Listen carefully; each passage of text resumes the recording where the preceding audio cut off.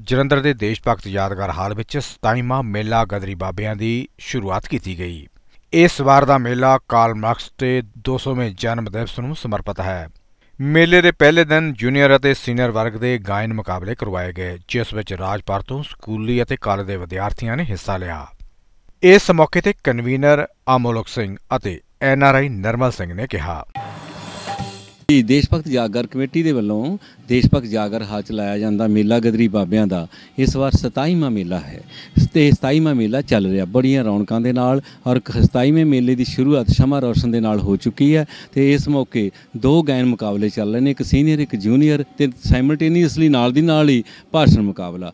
ਜਿਹੜੀ ਗਾਇਨ ਮੁਕਾਬਲਾ ਉਹਦੇ ਵਿੱਚ ਖਾਸ ਕਰਕੇ ਪੰਜਾਬੀ ਗਾਇਕੀ ਦੇ ਵਿੱਚ ਜਿਹੜੀ ਪ੍ਰਦੂਸ਼ਣ ਫੈਲਿਆ ਜਾਂ ਗੈਂਗ ਵਾਰ ਵਰਗੇ ਮਸਲੇ ਆਏ ਨੇ ਜਾਂ ਸਾਡੇ ਬਹੁਤ ਹੀ ਸੋਹ ਸਵਾਦਾਂ ਨੂੰ ਛੱਡ ਕੇ ਸੰਵੇਦਨਾ ਨੂੰ ਛੱਡ ਕੇ, ਸਾਡੇ ਸਾਜ਼ਾਂ ਨੂੰ, ਗੰਭੀਰ ਸਾਜ਼ਾਂ ਨੂੰ ਛੱਡ ਕੇ, ਉਹਦੀ ਬਜਾਏ ਇੱਕ ਤਰ੍ਹਾਂ ਦੇ ਨਾਲ ਬਸ ਹਥਿਆਰ ਹੀ ਵੱਜ ਰਹੇ ਨੇ ਅੱਜ ਕੱਲ ਗੀਤਾਂ 'ਚ।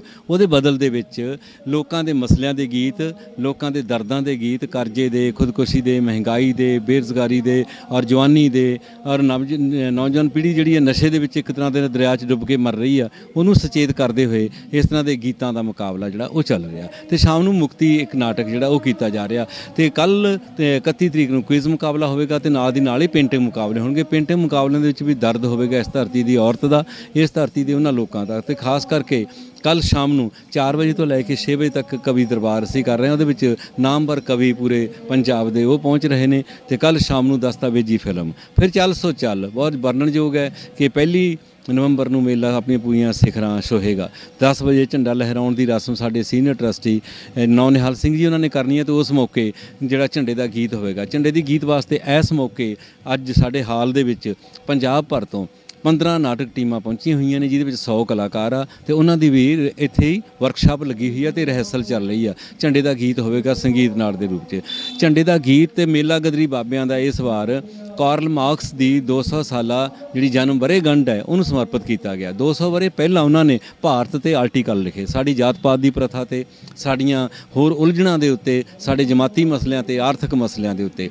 ਸੋ ਅੱਜ ਜਿਸ ਮੌਕੇ ਸਾਡੇ ਇੱਕ ਤਰ੍ਹਾਂ ਦੇ ਨਾਲ ਮਹਿੰਗਾਈ ਦਾ, ਬੇਰੁਜ਼ਗਾਰੀ ਦਾ ਦੌਰ ਚੱਲ ਰਿਹਾ, ਜਿਸ ਤਰ੍ਹਾਂ ਦੇ ਨਾਲ ਅੱਜ ਕ- ਜਿਹੜੇ ਕਿਸਾਨ ਖੁਦਕੁਸ਼ੀਆਂ ਕਰ ਰਹੇ ਨੇ ਤੇ ਨੌਜਵਾਨ ਪੀੜ੍ਹੀ ਜਿਹੜੀ ਹੈ, ਇੱਕ ਤਰ੍ਹਾਂ ਦੇ ਨਾਲ ਭਗਤ ਸਿੰਘ ਨੂੰ, ਸਰਾਬੇ ਨੂੰ, ਗਦਰੀ ਬਾਬਿਆਂ ਨੂੰ, ਬੱਬਰ ਅਕਾਲੀਆਂ ਨੂੰ, ਆਪਣੀ ਹਿਸਟਰੀ ਨੂੰ ਭੁੱਲਦੀ ਜਾ ਰਹੀ ਆ, ਤਾਂ ਉਸ ਮੌਕੇ ਯਾਨੀ ਉਹ ਸਾਰਾ ਦਾ ਸਾਰਾ ਜਿਹੜਾ ਅੱਜ ਦਾ ਪੈਟਰਨ ਹੈ ਸਾਡੇ ਮੇਲੇ ਦਾ, ਇੱਕ ਨਵੀਂ ਚੇਤਨਾ ਦਾ ਮੇਲਾ ਹੋਵੇਗਾ। ਇਸ ਮੇਲੇ ਦੇ ਵਿੱਚ ਖਾਸ ਕਰਕੇ ਜ਼ਿਕਰਯੋਗ ਇਹ ਹੈ ਕਿ ਅਸੀਂ ਪੰਜ ਨਾਟਕ ਕਰ ਰਹੇ ਹਾਂ। ਪਹਿਲੀ ਨਵੰਬਰ ਦੀ ਸਾਰੀ ਰਾਤ, ਪੰਜੇ ਨਾਟਕਾਂ ਦੇ ਵਿੱਚ ਇੱਕ ਧਰਮ ਗੁਰੂ ਹੈ, ਇੱਕ ਨਾਟਕ ਐਸੇ ਜਨ ਬਿਰਲੇ ਸੰਸਾਰੇ ਆ, ਇੱਕ ਪੇਸ਼ਾਵਰ ਐਕਸਪ੍ਰੈਸ ਹੈ, ਇੱਕ ਨਾਟਕ ਅਸੀਂ ਕਰ ਰਹੇ ਹਾਂ, ਮਨ ਮਿੱਟੀ ਦਾ ਬੋਲਿਆ, ਇੱਕ ਨਾਟਕ ਹੈ ਸਿਲਤਰਾ। ਇਹ ਪੰਜੇ ਨਾਟਕ ਜਿਹੜੇ ਨੇ, ਅੱਜ ਦੀਆਂ ਉਹ ਸਾਰੀਆਂ ਤਰਾਸਦੀਆਂ ਨੇ ਜਿਹੜੀਆਂ ਸਾਡੇ ਸਮਾਜ ਦੀਆਂ, ਉਹਨਾਂ ਤਰਾਸਦੀਆਂ ਨੂੰ ਲੈ ਕੇ ਹੋ ਰਹੇ ਨੇ। ਔਰ ਪੰਜਾਬ ਦੇ ਵਿੱਚ ਇੱਕ ਤਰ੍ਹਾਂ ਦਾ ਉੱਤਰੀ ਭਾਰਤ ਦਾ ਵਿਲੱਖਣ ਕਿਸਮ ਦਾ, ਆਪਣੀ ਕਿਸਮ ਦਾ ਮੇਲਾ ਹੈ, ਜਿਹੜਾ ਹੋ ਰਿਹਾ ਦੇਸ਼ ਭਗਤ ਜਾਗਰ ਹਾਲ ਦੇ ਅੰਦਰ। ਇਹਦੇ ਵਿੱਚ ਇੰਗਲੈਂਡ, ਅਮਰੀਕਾ, ਕੈਨੇਡਾ, ਨਿਊਜ਼ੀਲੈਂਡ ਵੱਖ-ਵੱਖ ਮੁਲਕਾਂ ਤੋਂ ਸਾਡੇ ਮਹਿਮਾਨ ਵੀ ਪਹੁੰਚੇ ਹੋਏ ਨੇ ਔਰ ਇਹਦੇ ਵਿੱਚ ਲੋਕਾਂ ਨੇ ਆਪਣੇ ਤੌਰ ਦੇ ਉੱਤੇ ਲੰਗਰ ਲਾਇਆ ਲੋਕਾਂ ਨੇ ਆਪਣੇ ਤੌਰ ਦੇ ਉੱਤੇ ਜਿਹੜੀ ਸਹਾਇਤਾ ਇਕੱਠੀ ਕੀਤੀ ਆ। ਸੋ ਇਸ ਮੇਲੇ ਦੇ ਵਿੱਚ ਖਾਸ ਕਰਕੇ ਜਦੋਂ ਅ, 1984 ਦਾ ਉਹ ਦੌਰ ਸੀ ਜਿਸ ਮੌਕੇ ਦਿੱਲੀ ਦੇ ਵਿੱਚ ਵੱਡਾ ਕਤਲੇਆਮ ਹੋਇਆ ਸੀ ਉਹ ਅਸੀਂ ਉਹਨਾਂ ਨੂੰ ਵੀ ਯਾਦ ਕਰਾਂਗੇ ਜਿਹੜੇ ਬੇਗਨਾਹ ਮਾਰੇ ਗਏ ਦਿੱਲੀ ਦੀ ਧਰਤੀ ਦੇ ਉੱਤੇ। ਜਿਨੋਸਾਈਡ ਹੋਇਆ ਇੱਕ ਤਰ੍ਹਾਂ ਦਾ ਚਾਹੇ ਉਹ ਗੁਜਰਾਤ ਹੋਵੇ ਦਿੱਲੀ ਦੀ ਧਰਤੀ ਹੋਵੇ ਪੰਜਾਬ ਹੋਵੇ ਉਹ ਸਾਰੇ ਮਸਲਿਆਂ ਨੂੰ ਨਾਲ ਲੈਂਦੇ ਹੋਏ ਅਸੀਂ ਵਿਚਾਰਾਂ ਦੇ ਪ੍ਰਗਟਾਵੇ ਦੀ ਆਜ਼ਾਦੀ ਦੀ ਗੱਲ ਨੂੰ ਵੀ ਇਸ ਗਦਰੀ ਬਾਬਿਆਂ ਦੇ ਮੇਲੇ ਦੇ ਵਿੱਚ ਕਰੂਗਾ। ਔਰ ਪੁਸਤਕ ਕਲਚਰ ਵਾਸਤੇ ਇੱਕ ਆਪਣੀ ਕਿਸਮ ਦਾ ਹੀ ਲਗਭਗ 150 ਸਟਾਲ ਸਾਡੇ ਪਹੁੰਚ ਚੁੱਕੀ ਆ। ਆਪਣੀ ਕਿਸਮ ਦਾ ਇੱਕ ਪੁਸਤਕ ਮੇਲਾ ਉਹ ਵੀ ਨਾਲ ਦੀ ਨਾਲ ਚੱਲ ਰਿਹਾ ਜਿਹਦੇ ਵਿੱਚ ਬੜਾ ਹੀ ਖੂਬਸੂਰਤ ਬੜਾ ਜਿਹੜਾ ਵਿਲੱਖਣ ਕਿਸਮ ਦਾ ਦੁਰਲੱਭ ਕਿਸਮ ਦੀਆਂ ਪੁਸਤਕਾਂ ਜਿਹੜੀਆਂ ਨੇ ਉਹ ਇਹਦੇ ਵਿੱਚ ਲੱਗੀਆਂ ਹੋਈਆਂ ਨੇ ਔਰ ਇਸ ਮੇਲੇ 'ਚ ਔਰਤਾਂ ਬੱਚੇ ਵੱਡੀ ਗਿਣਤੀ 'ਚ ਪਹੁੰਚੇ ਹੋਏ ਨੇ।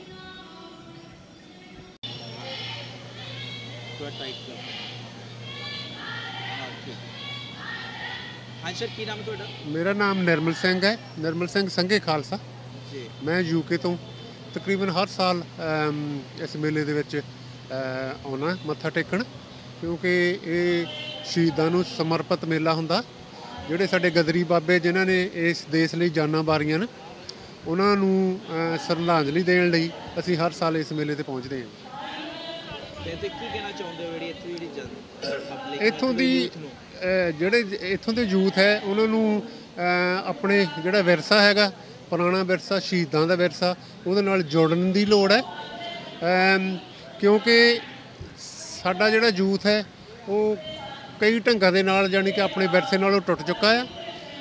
ਉਹ ਜਿੰਨਾ ਸਾਹਿਤ, ਜ਼ਿਆਦਾ ਸਾਹਿਤ ਪੜ੍ਹਨਗੇ ਕਿਉਂਕਿ ਇਸ ਮੇਲੇ ਦੇ ਵਿੱਚ ਸਾਹਿਤ ਦੇ ਸਟਾਲ ਲੱਗਦੇ ਨੇ ਔਰ ਯੂਥ ਜਿਹੜਾ ਹੈ ਜਿੰਨਾ ਜ਼ਿਆਦਾ ਸਾਹਿਤ ਪੜ੍ਹਨਗੇ, ਉਹ ਸਾਡੇ ਪੁਰਾਣੇ ਵਿਰਸੇ ਦੇ ਨਾਲ ਜੁੜਨਗੇ ਔਰ ਮੋਰ ਜਾਗਰਤ ਹੋਣਗੇ। ਔਰ ਭਗਤ ਸਿੰਘ ਹੁਣਾਂ ਦੇ ਵਿਚਾਰਾਂ ਤੋਂ ਜਾਣੂ ਹੋ ਕੇ ਉਹ ਦੇਸ਼ ਲਈ ਬਹੁਤ ਕੁਝ ਕਰ ਸਕਦੇ ਆ। ਇਹ ਸਾਡਾ ਮੰਨਣਾ ਹੈ। ਸਰ ਕੀ ਨਾਮ ਹੈ ਤੁਹਾਡਾ?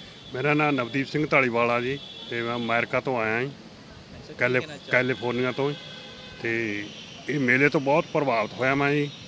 ਤੇ ਇਸੇ ਤਾਂ ਇਸ ਤਰ੍ਹਾਂ ਦਾ ਮੇਲਾ ਅਸੀਂ ਉੱਥੇ ਕੈਲੀਫੋਰਨੀਆ ਦੇ ਗਦਰੀ ਬਾਬੇ ਦਾ ਮੇਲਾ ਕਰਾਉਨੇ ਆ 18 ਸਾਲ ਹੋ ਗਏ ਸਾਨੂੰ। ਤੇ ਇਸ ਵਾਸਤੇ ਮੈਂ ਪਹਿਲੀ ਵਾਰ ਮੇਲਾ ਇੱਥੇ ਦੇਖਣ ਦੀ ਆਇਆ ਇੱਥੇ ਸਪੈਸ਼ਲੀ ਮੇਲਾ ਦੇਖਣ ਦੀ ਖਾਤਰ ਆਇਆ ਤੇ ਹੁਣ ਇੱਥੋਂ ਸਿੱਖ ਕੇ ਜਾਊਂਗਾ, ਫਿਰ ਉਸ ਤੋਂ ਬਾਅਦ 'ਚ ਉੱਥੇ ਵੀ ਲੋਕਾਂ ਨੂੰ ਦੱਸੂਗਾ।